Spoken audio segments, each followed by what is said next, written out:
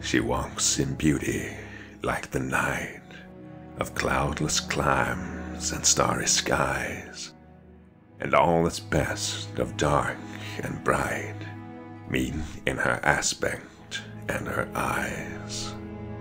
Thus mellow to that tender light which heaven to gaudy day denies. One shade the more, one ray the less, had half impaired the nameless grace which waves in every raven tress, or softly lightens o'er her face, where thoughts serenely sweet express how pure, how dear their dwelling place.